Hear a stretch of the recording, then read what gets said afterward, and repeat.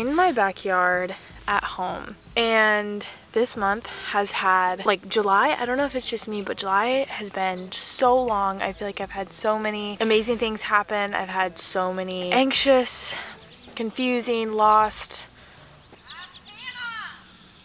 What? What? In my purse. In my in the wake of a hurricane dark skin of a summer shade. Nose dive in the floodlines. Tall tower, milk crate. It's the same way you showed me.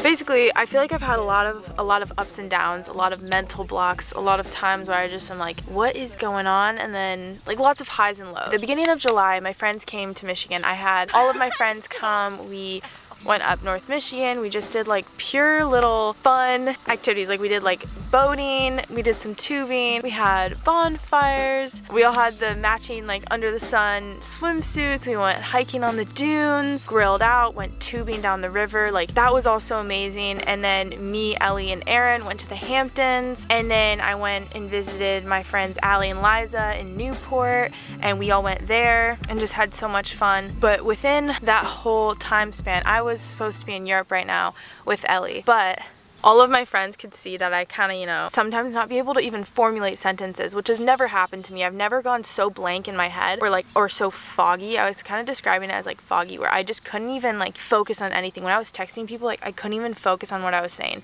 And I'm, I knew I wasn't going to stay like that. I just think maybe my brain was so overwhelmed.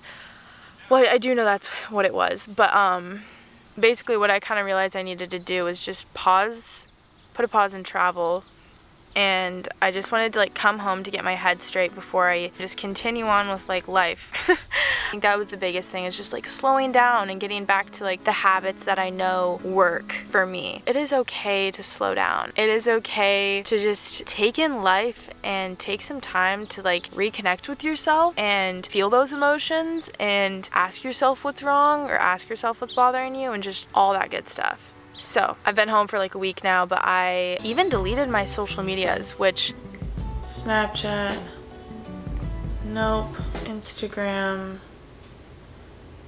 nope, bye. Ooh. Wait, that felt good. okay.